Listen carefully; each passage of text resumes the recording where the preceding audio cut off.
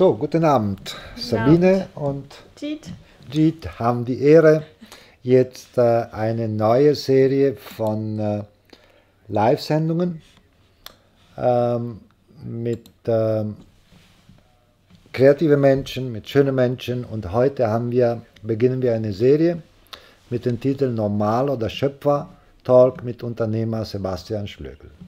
Und die Webseite, die könnt ihr natürlich unten auch sehen und das wird immer unten eingeblendet.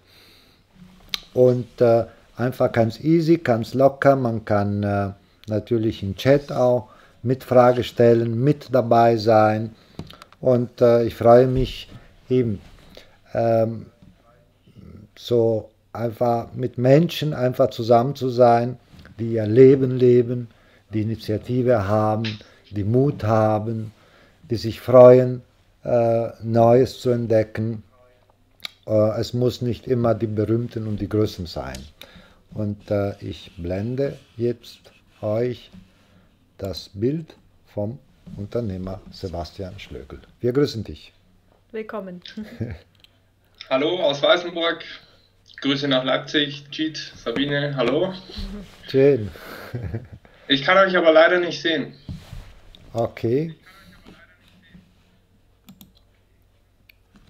Ah, hm, besser. Jetzt halt. Wunderbar. Okay, die Kamera, mit der wir senden, ist eine andere. Das ist nur, weil eine Kamera ah. kann nur ein Programm bedienen. Also was du jetzt siehst, ist nur für dich. Ne? Okay, alles klar. Wunderbar. Schön. Gut. Ja. Okay. Ja, äh, eben. Äh, für mich ist es einfach, wie wenn wir im Wohnzimmer wären. Einfach, dass wir, ich freue mich, äh, über dich zu erfahren ich freue mich, äh, Menschen kennenzulernen. Wir kennen uns schon länger. Kannst du das gleich eben vielleicht dich vorstellen? Und äh, ganz easy, ganz leicht äh, und so, dass die Menschen auch Mut bekommen, auch den eigenen Weg zu gehen. Ne? Und du hast natürlich deine Geschichten, du bist deinen Weg gegangen und ja, freut mich, wie du ähm, von, ähm, ja, von, so wie alle anderen in der Situation bist, wo du nicht weißt, was du tun sollst und plötzlich bekommst du Ideen, Initiativen, äh, Impulse, die folgst du. Und äh, deswegen diese Sendungen sind einfach Mut machen, äh, einfach eigene Intuition, eigene Wahrnehmung, eigene Impulse zu folgen. Und deswegen freue ich mich einfach ganz easy, ganz leicht, äh, einfach einen Talk mit dir zu haben, um das äh, und dann später einfach zu sehen, was du entwickelt hast. Ja. Bitte schön. Wir sind schon wieder aus, ne? Genau. Ihr seid aus, ja. ja. Ach so, okay. Hm. Ähm, also es ist so, ich war äh, in vielen, also größeren Unternehmen tätig, ähm, dort auch in leitenden Positionen Mhm. Und irgendwann habe ich gemerkt, dass mich das Ganze nicht erfüllt. Und ähm, dann habe ich mich nebenher selbstständig gemacht, habe mich fürs Internet begeistert und interessiert und habe da dann äh, nebenher angefangen, ähm, ja, mich mit Webdesign, Suchmaschinenoptimierung und so Geschichten, alles was das Internet angeht, mir das selbst anzueignen, zu suchen über Google, und das und das zu probieren. Und ähm, ja, das hat vor, das hat 2004 hat das angefangen. Das habe ich dann nebenberuflich, habe ich das dann gemacht, neben meinen ja, normalen, neben der normalen Arbeit. Und irgendwann kam dann auch mal der Punkt, äh, wo ich dann gesagt habe, so, jetzt reicht's. ich arbeite jetzt nur noch für mich selber und ähm, bin dann auch mit, äh, mit EU-Mitteln in die Selbstständigkeit gefördert worden und ähm, habe dann mir meine Firma, also ich habe noch eine Firma, die heißt inranking.de, habe mir dann da über ein Gründerforum, habe mir dann da meine kleinen Kunden gesucht und habe dann in meinem kleinen Universum sozusagen mir dann das Stück für Stück aufgebaut und äh, das ist dann immer immer weiter expandiert und größer geworden. Wie sind diese Impulse gekommen, was zu machen? Woher kommen diese Impulse? Also du hast gesagt, du hast angefangen, dich für Computern zu, zu interessieren. Mhm. Ne? Äh, wie, wie geschieht so etwas? Naja, das hat damit zu tun, dass ich schon mit sechs Jahren vor dem ersten Schneider-PC meines Vaters gesessen bin. Da war Windows 1.0 drauf. Und eine gewisse Affinität zu PCs ist einfach, das steckt einfach in mir. Und ähm, meine Laptops und meine PCs sind halt so mein Heiligtum sozusagen.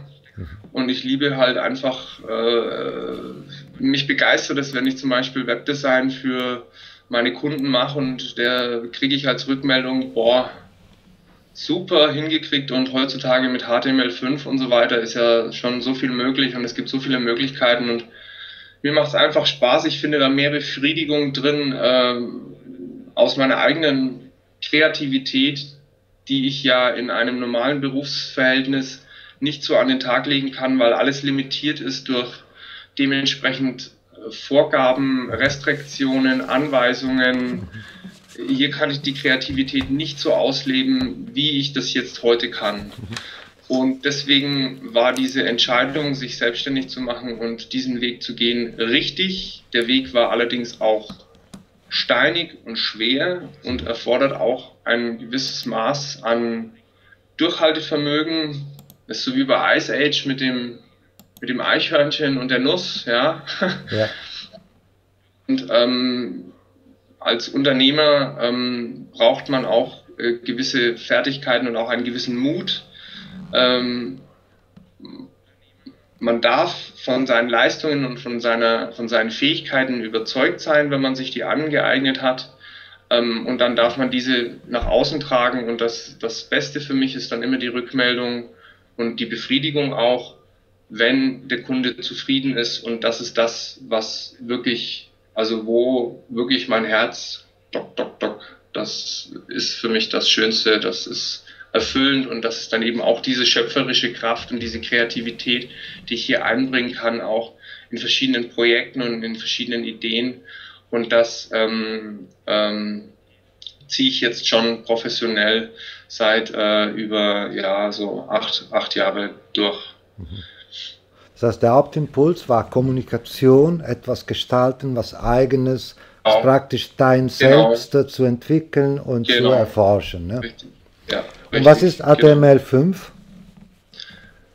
HTML5 ist die ähm, ähm, HTML5 ist die Anpassbarkeit von Webseiten auf alle mobilen Endgeräte, also auf iPhone, Tablets, alle Arten von Bildschirmen, alle Arten von Browsern. Das heißt, die Webseite passt sich automatisch ans iPhone, an den, ans Tablet, an alles Mögliche an.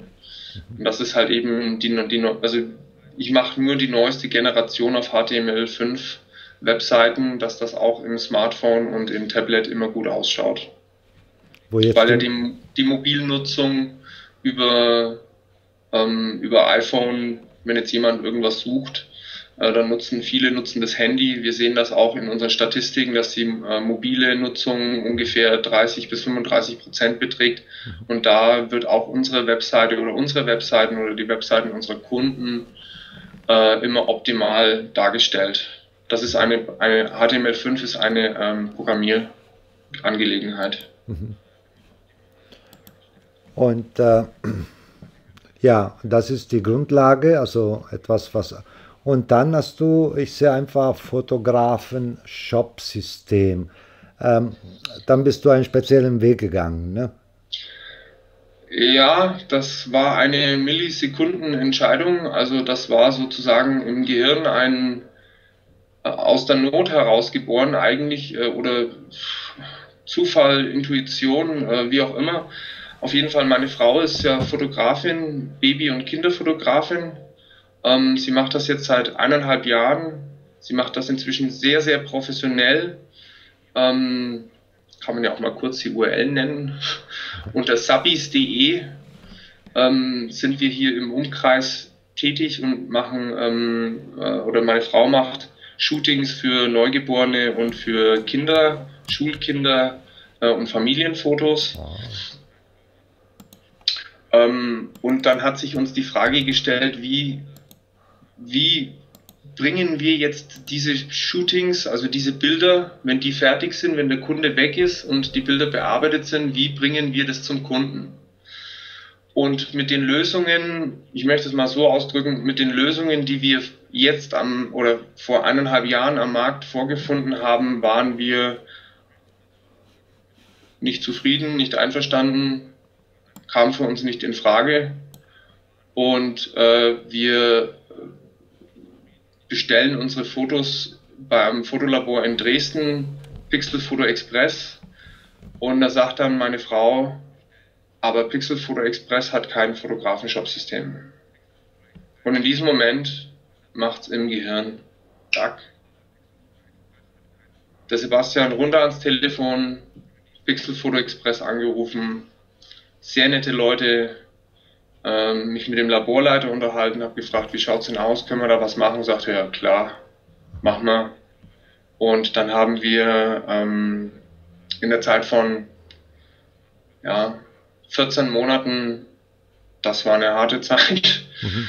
ähm, haben wir also das Ganze so entwickelt und designt, ähm, dass wir jetzt heute auf einem Stand sind, wo die Fotografen ihre Fotos einfach nur hochladen auf ihren Webspace. Also Fastpixel ist eine Einzelplatzversion Software, mhm. die man kaufen kann, einmalig zu einem einmaligen Preis. Es fallen keine weiteren Gebühren an zur, zur Nutzung. Es sind zwölf Monate Updates mit dabei. Ähm, und man lädt die Bilder hoch, legt einen Kunden an, schickt ihm die Zugangsdaten, dann kann dieser Kunde seine Galerie sehen und kann praktisch die Bilder auswählen und dann kann er aus den Produkten auswählen, dieses Bild möchte ich in 13x18, dieses Bild möchte ich größer, dieses als Leinwand, als Poster und so weiter und so weiter. Dann geht er den ganz normalen Bestellprozess durch mit Rechnung, Zahlung, Versand, Bestellübersicht, Enter, ist bestellt.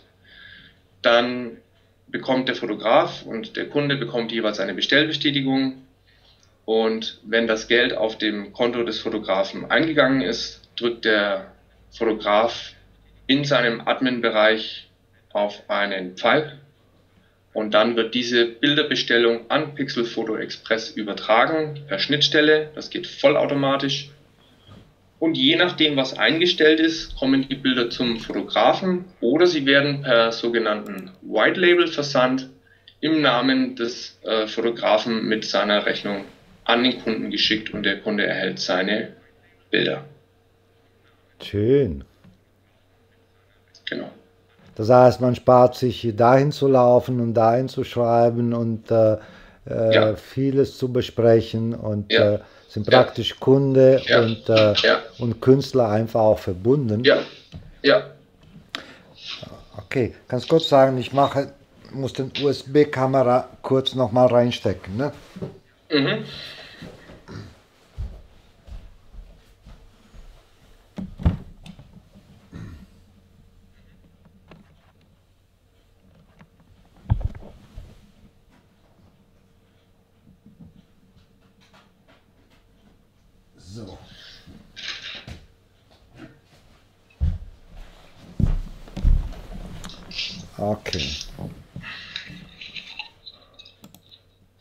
Bisschen meinen Mund anfeuchten, sage ja zu Radwasser. Ja. Schön. Ja, ist eine Menge Arbeit äh, gewesen. Also wir sind ähm, im März gestartet ähm, und haben auch in Zusammenarbeit mit unseren ersten Kunden die Software dann auch wirklich verbessert. Und ähm, wir sind also wirklich auf einem guten Stand und wir arbeiten eng. Wir sind Kunden, wir sind am Fotografen interessiert, mhm. was er will. Also so wie er perfekt arbeiten kann, so passen wir uns und Fast Pixel ähm, an die Bedürfnisse des Kunden an. Und für uns zählt eigentlich nur, ähm, dass der Fotograf mit Fast Pixel seinen Umsatz macht und die Kreativität, die er in seine Bilder legt, dass er da das Maximum an Umsatz wieder rausholt. Das ist eigentlich unser Ziel. Okay, und wer ist Fotograf? Was ähm, bezeichnest du als Fotograf? Das können Hobbyfotografen sein, Landschaftsfotografen, Porträtfotografen, Hochzeitsfotografen, kind, für kind, Fotografen, die Kindergärten ähm, nur machen oder reine Fotostudios. Ähm, auch Leute, die das zum Spaß machen, habe ich auch Kunden, die das einfach unser System nutzen. Also ich also auch. Jeder, du im Prinzip auch. Im Prinzip auch. Aber es ist halt alles mit ähm, ähm, äh, einem dementsprechenden, ähm, ja, schon äh, umsatzbezogenen, also das ist eine umsatzbezogene Geschichte. Also das ist mit Bildern Geld verdienen. Ja. Ah, das heißt, ich könnte auch Bilder hochladen und wenn den Leuten gefällt, können sie auch verkauft werden. Ja, das ist diese Thematik, die du da ansprichst. Das äh, ist die Thematik öffentliche Galerien. Äh, wir haben das schon in der Planung, das wird in den nächsten Wochen umgesetzt. Das heißt, im Moment ist, ist das Ganze nur intern sichtbar. In Zukunft wird es so sein, dass auch der Fotograf auf seiner Homepage, wenn zum Beispiel ein Landschaftsfotograf oder ein Tierfotograf oder was auch immer, wenn der schöne Fotos hat und er möchte diese als sogenannte Stockfotos verkaufen, dann kann er diese als öffentlich markieren und dann kann er einen Shortcut auf seine Homepage einbauen und dann ähm, werden diese Bilder öffentlich zum Verkauf dann dementsprechend äh, dargestellt. Also das kommt noch. Das kommt noch. Soweit sind wir noch nicht. Aha, okay. Also wir haben, wir haben, wir haben auch, äh, was Fastpixel angeht, ähm, wir sind noch lange nicht fertig. Wir haben dermaßen ähm, wir kommen da teilweise gar nicht hinterher ähm, von Anfragen und, und Dingen, aber wir haben unser schönes äh, System, ähm, in dem wir unsere Pläne haben, die dann Stück für Stück abgearbeitet werden und das wird immer besser und ähm, als nächstes haben wir ähm, äh, ge geplant ein Plugin, also uns, unsere Software ist Plugin-fähig, also erweiterungsfähig, man kann sogenannte Plugins kaufen.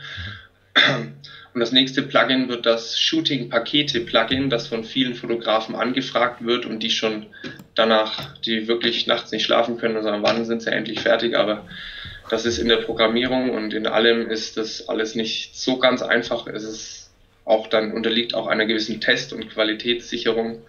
Ähm, aber wir werden auch diese Dinge, auch die öffentlichen Galerien, das wird alles kommen. Schön. Demnächst. In den nächsten Wochen wird das alles kommen. Hm bis hin zum, bis hin zum Weg der Vollautomatisierung. Aber dazu ähm, möchte ich noch nicht viel sagen, weil das ist eine Sache, die ich dann auch auf der Webseite durch eine entsprechende Präsentation, wenn es soweit ist, dann, ähm, dann veröffentlichen werde. Wie gesagt, dazu möchte ich noch nicht so viel sagen, weil das, das äh, darf eine Überraschung für unsere Interessenten und unsere Kunden werden. Okay, schön. Und dann werden irgendwann dann auch Video kommen. Richtig, das ist der nächste Punkt. Ich habe es äh, bis jetzt ähm, den Punkt Videos äh, etwas vermieden. Äh, es gibt Dokumentationen schriftlich, womit unsere Kunden zurechtkommen. Ähm, nur unsere Software hat sich so rasant entwickelt. Wir haben innerhalb der letzten vier Monate über 96 Updates gefahren. Also im Hintergrund, also äh, offiziell sind 46, inoffiziell sind 96. Also das sind wirklich viele Sachen dazugekommen. Und Update funktioniert bei uns so. Im Admin-Bereich drückt man einfach den Bereich Update. Da steht letztes Update herunterladen, letztes Update installieren. Zack, hat man die neueste Version. Mhm. Ähm, hm, schön. Und ähm, wir wollten das easy locker machen, also es wird ernst, aber es ist auch okay. Ne? Weil das ist, äh, es ist jetzt eine andere Aufmerksamkeit. Dadurch, dass wir das jetzt live machen, ja. äh, ist immer eine andere Aufmerksamkeit und das äh, finde ich einfach auch schön. Ne? Weil dann kann ich folgen und kann ich einfach auch äh, das Gefühl vermitteln, ähm, ähm, so was du, was deine Absicht, was deine Kompetenzen, was deine Begeisterung ist in dieser Arbeit und das äh, finde ich gut. Äh, was macht dir Spaß in der Arbeit? In diese, ich meine, du hast viel gearbeitet, Nächte, ich kenne dich, äh, meine, um 4 Uhr nachts, dann skypst du mich noch an und so. Ne? das waren die Zeiten damals, wo wir in Bayern waren, wo du da noch am äh, nicht wissen, wird was oder wird äh, nichts oder so. Ne? Ja, das ja. ist richtig, ja. ja. Ja, also da waren schon, also mit Fastpixel waren dann 18, 19 Stunden, waren dann, ähm, ich darf das kurz erwähnen, also alles, was man ähm, Homepage-technisch sieht, videotechnisch sieht, Suchmaschinenoptimierungstechnisch sieht, ähm, vom Logo, von der Marke, von den ähm, ganzen, ganzen Drumherum. Das ist also komplett da oben raus. Und dann darf ich auch noch hier meine zwei Programmierer, meine zwei Top-Leute, den Daniel Leicht und den Josef Nano, ähm, für ihre Arbeit wirklich, wirklich loben. Sie machen einen wunderbaren Job. Sie finden für alles eine Lösung. Und da habe ich zwei Programmierer, zwei junge Programmierer, zwei junge motivierte Programmierer äh, gefunden, die genauso ähm, ihren Spaß einbringen, ihre, ihren Willen ähm, für den Kunden, das so zu gestalten. Ähm, und das ist einfach wunderbar und wir sind ein tolles Team und arbeiten da gut zusammen. Hm, schön. Und nochmal, um auf den Spaß zurückzukommen. Mhm. Der Spaß entsteht dann, wenn ein Kunde eine Testversion bestellt. Zum Beispiel, es gibt die Möglichkeit, in unserem Shop eine Testversion zu bestellen für 14 Tage. Ähm, ich lasse die auch gerne länger stehen, wenn der Kunde anruft und sagt, hey, ich will das noch ein bisschen probieren, das ist kein Thema. Ähm, und das letzte Mal hat ein Kunde zu mir gesagt, Herr Schlögel, das ist genau das, was ich seit Jahren gesucht habe. Und da ist natürlich, das geht natürlich runter wie, und das ist die Motivation, das ist das, was mich antreibt. Oder wenn der Kunde sagt, ja, ähm, schönes, schönes System, funktioniert super und haben sie gut gemacht und so. Und einfach diese Kundenrückmeldung von dem Punkt an, wo äh, praktisch vom Urknall an bis heute, bis jetzt, bis man diese Kunden, diese Fotografen am Telefon hat und bekommt eine positive Rückmeldung, das ist einfach das, was mich antreibt und das ist eigentlich das, was ich dann da auch will. Mhm. Ja, also das ist das, was ich wollte. Ja, einfach eine Lösung zu schaffen, eine Befreiung zu schaffen für dieses Problem oder für, die, für, diese, für diesen Sachverhalt, eine dementsprechende Lösung anzubieten. Und Fast Pixel ist immer auf, auf äh, Freiheit angelegt. Hm. Es, ist, es unterliegt keinem Zwang. Ja, das war mir auch wichtig. Das ist, das ist kein Zwang. Und vor allem nach meiner Wahrnehmung ist es deine Frau gewidmet, die den Impuls gegeben hat. Und es ist auch aus Liebe entstanden. Ne? Das ist auch aus Liebe entstanden ähm, und äh, da gab es auch viele Diskussionen. Ah, das muss so sein, das muss so sein und wir haben uns da auch manchmal, äh, ja, das war manchmal nicht ganz einfach, aber wir haben uns dann wieder zusammengerauft und haben dann wieder Lösungen gefunden und das hat uns auch dann zusammengeschweißt und das sage ich auch nochmal Danke an meine Frau, ähm, die auch ähm, auch aus ihrer Sicht als Fotografin uns auch immer ein bisschen den Weg gewiesen hat und da auch mitgeholfen hat. Das war also auch wirklich ganz toll. Hm. Ja, danke schön, Sebastian.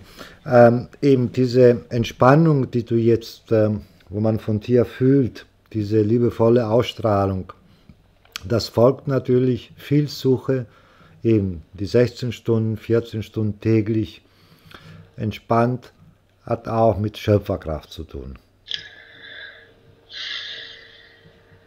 Ja, natürlich. Die, Schöpf die Schöpferkraft, die ähm, steckt natürlich in mir. Also alles, was man so denkt, findet man dann so in seinem äh, jetzigen Leben vor. Mhm. Und ähm, unser Titel ist ja Normal oder Schöpfer. Mhm. Und der Schöpfer beginnt halt dann, wenn er seine Visionen in die Realität umbringt, also praktisch einbringt mhm. und sie verwirklicht. Ja. Und man sie greifbar macht dann. Ne? Schön. Das heißt, vielleicht das nächste Mal können wir schauen, wie man äh, in diese Entspannung jetzt, wie du in diese Entspannung kommst und was du für dich machst, äh, wie du auch deine Rhythmen ähm, für einen erfolgreichen Tag ähm, gestaltest. Ne? Mhm. Einfach, das sind die kleinen Sachen, wo einfach auch jeder ein bisschen für sich macht, um äh, sich aufzuladen, um sich zu entspannen, um zu genießen, mhm. um Pausen zu machen, um wieder ja. Neues zu erfahren und zu erschaffen. Jo, ich danke dir sehr. Ganz ich schön. Danke. Ganz schön. Ich danke. Okay. Dann äh, wir hören uns und sonst äh, ähm, bis nächste Woche, liebe Zuschauer. Wer noch Fragen hat, das Video wird dann hochgeladen in zwei. Eine mit dieser Qualität, wo wir senden und eins in Full HD. Und ihr kennt auch die Fragen in das, äh, in das Experten GTV, in YouTube, da überall, wo das Video erscheinen wird, ist auch, sind auch die Link unten. Gerne auch die Webseite von äh, deiner Frau. Und, äh, und ansonsten, wenn ihr noch Fragen habt, äh, äh, schreibt uns oder schreibt direkt an Sebastian Schlegel. Und äh, danke für eure Aufmerksamkeit. Bis nächste Woche. Ciao. Tschüss. Tschüss. Ciao. Ciao.